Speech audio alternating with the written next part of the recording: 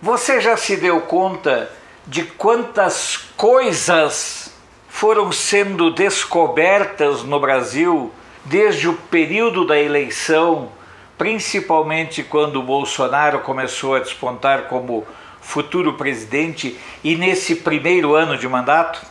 Sobre essas peculiaridades eu quero conversar com você, mas antes quero aproveitar para agradecer ao pessoal do site e também do canal Jornal da Cidade Online. É muito gratificante saber que, enquanto alguns se estapeiam, outros buscam, lutam e tratam de fortalecer o campo da comunicação da direita. Muito obrigado ao pessoal do Jornal da Cidade Online pela parceria.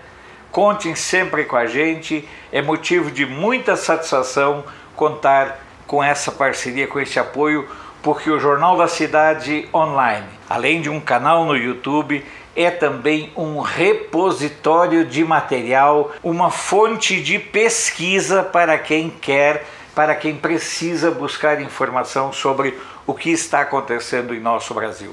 Obrigado e vamos seguir tocando a vida.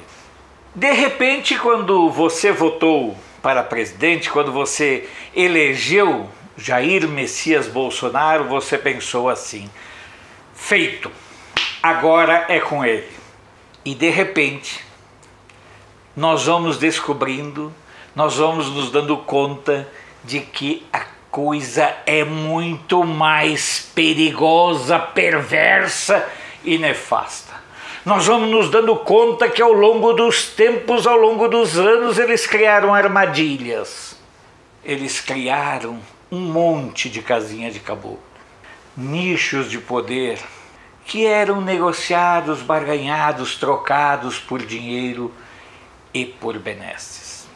Nós elegemos o presidente da República e ouso dizer que no Brasil, com esta prostituinte que nós temos, com essa constituição prostituída que nós temos, quem menos manda é o presidente da República nós seguimos a regra básica de Montesquieu, da divisão do Estado, em três poderes que respeitam sua autonomia. Não respeitam autonomia patavina nenhuma. O único que respeita a autonomia dos demais é exatamente o do executivo.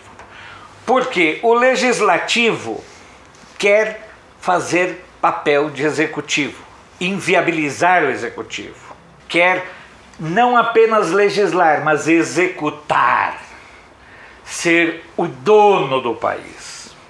Ao lado nós temos o judiciário, que igualmente não se contenta ao seu papel de julgar as demandas. No Brasil, o judiciário, principalmente em 2019, se deu ao luxo de assintosamente criar uma legislação. Todo mundo ficou quieto, principalmente o pessoal do Congresso Nacional, porque lá todo mundo tem o rabo preso. Todo mundo não, uns 95% por aí. E aí você tem uma situação na qual as coisas não andam porque não interessam às forças políticas, às forças jurídicas, aos mecanismos e às engrenagens que o sistema funcione.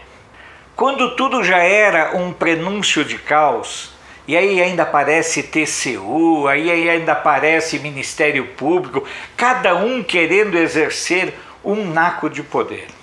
Eis que, como vindo das profundezas, das sombras, da parte mais subterrânea do mundo real, surgem as agências reguladoras. Começam a botar a cabecinha para fora. Desde o ano passado, lá no meu blog, blogdoalfredo.com, há uma série de artigos questionando exatamente se o presidente Bolsonaro teria coragem de botar o dedo no vespeiro das agências reguladoras, que são antros de corrupção. Adivinha você eu peço que você me diga se você tem ideia quem foi o gênio do mal que criou as agências reguladoras em nosso país. Acertou. Foi o mais famigerado dos últimos presidentes que nós tivemos, porque ele era limpinho, ele era educadinho, mas era de uma perversidade com o país sem paralelo. As agências reguladoras em nosso país começam com uma figura nefasta, enojante, um verdadeiro biltre da, da democracia, alguém que foi passear na Europa se dizendo exilado, que é o tal do Fernando Henrique Cardoso. Foi ele, Fernando Henrique Cardoso, quem criou a ANEL, por exemplo, em 1996. É da época dele também a Anatel. E tem coisa pior do que a telefonia no Brasil. Depois, para acomodar alguns amigos, ele criou a ANP, Agência Nacional do Petróleo. E como a porcaria nunca tem fim, Lula, Dilma, Temer se atracaram a criar agências reguladoras.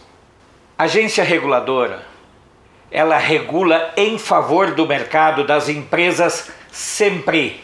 Em nenhum momento nenhuma agência reguladora assumiu qualquer postura de defesa da sociedade, do cidadão e do contribuinte, que é na realidade quem paga o salário deles. O suborno é pago pelas empresas que têm seus interesses aí sim atendidos. As agências reguladoras são verdadeiras excrescências que Fernando Henrique Cardoso deixou, que o Lula continuou gerando, que a Dilma pôs mais algumas, Temer criou a ANM, Agência Nacional de Mineração. Existem ainda agora os filhotinhos, que são as agências estaduais, porque onde tem possibilidade de roubar e de causar problemas para a sociedade, pode ter certeza que a máquina pública vai criar um mecanismo para usufruir dessa benesse. Vocês lembram da história das bagagens gratuitas que tinha aqui no Brasil? Pois é. Quem foi contra foi a ANAC, a, Agência Nacional de Aviação Civil, sob o pretexto de que baixaria o preço das passagens. Quanto dinheiro vocês acham que rolou numa decisão dessas? Não baixou o preço de passagem porcaria nenhuma, porque é um bando de mentirosos. A bem da verdade, boa parte dos conselheiros das agências reguladoras deveriam estar respondendo pelo crime de prevaricação, porque eles se postam como um governo paralelo, eles se colocam acima do governo. E aí nós descobrimos que, além do Congresso Nacional, além do Judiciário, além do Ministério Público, hoje o Brasil tem nas agências reguladoras figuras que mandam até mesmo mais do que o presidente da República. Basta observar esse episódio vergonhoso, vexatório, ridículo, patético, mas revelador de quererem taxar o sol no Brasil quando da geração de energia por cidadãos, por pessoas. Eles não têm limites, eles não têm pudor em defender os interesses das empresas. Porque se somos nós, enquanto sociedade, que pagamos os seus salários, são as grandes empresas que bancam os seus privilégios. Basta observar que os conselheiros geralmente são indicados por corporações, por empresas, por seus acordos, por suas vinculações muitos deles sem idoneidade para ocupar tais cargos. Portanto, em um ano de governo, nós brasileiros descobrimos estupefatos que quem menos manda no país é aquele que é eleito presidente da República. Porque até um simples conselheiro de uma agência tem mais poder, num certo sentido, do que o próprio presidente da República. Foram essas armadilhas, foram essas trambicagens que foram sendo urdidas desde o advento da nova República. Romper com esse quadro quebrar esses elos de favores e de picaretagens é um processo muito longo. Nós colocamos Bolsonaro na presidência para resolver os problemas. E o único meio de fazer com que isso seja possível é através da pressão sobre deputados. É a divulgação de quem são os conselheiros dessas malfadadas agências reguladoras e quais os interesses que cada um deles representa dentro do segmento. E aí nós vamos descobrir cada barbaridade, cada absurdo, cada insanidade que só mesmo a nossa imensa capacidade de lutar, a nossa resiliência cívica é capaz de nos mantermos calmos e evitarmos de fazer alguma besteira de passarmos a defender algumas ações mais radicais. Eu não sei se você curte muito o Twitter, tem o perfil do Joaquim Teixeira e ele, com bom humor, porque a gente também tem que ter bom humor, ele coloca que o governo Bolsonaro, além de ter divulgado a forma perversa como a estrutura de poder no Brasil foi sendo abocanhada, e volto a dizer, o legislativo quer ser executivo, o judiciário quer ser executivo, o Tribunal de Contas quer ser executivo, o Ministério Público quer ser executivo, a mídia quer ser executivo e agora até as agências reguladoras querem ser executivos. E já é menos coisas que eram antes, porque no tempo do PT eram também os grupos de máfia, eram também as falanges criminosas, que também eram grupos, né? de poder.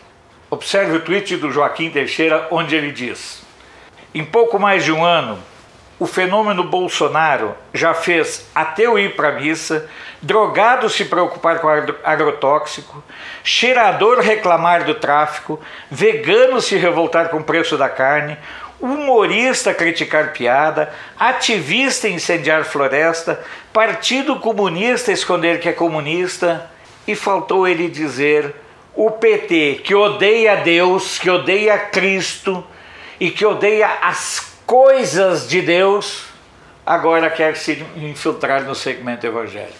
Sejamos francos, se por nada mais fosse, só por tudo isso que o governo Bolsonaro foi desnudando em um ano e meio por aí, já teria valido a pena que o fenômeno Bolsonaro tivesse acontecido. Imagina você que tem muita coisa boa para acontecer. Realmente é por isso que eles não querem deixar o Bolsonaro governar. Porque se o Bolsonaro governar com seus erros, com seus equívocos, às vezes com suas atrapalhadas, mas se deixarem o Bolsonaro governar, eles não voltam nunca mais para o poder. Sou Alfredo Bessoff, jornalista. Você pode não concordar com o que eu digo, mas eu tenho o compromisso de não silenciar.